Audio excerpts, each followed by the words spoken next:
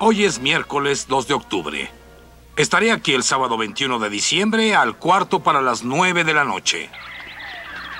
Un sacrificio humano. La mujer que acaban de ver será quemada viva al amanecer. Propongo que salvemos a esa mujer. Salvar a esa mujer, monsieur.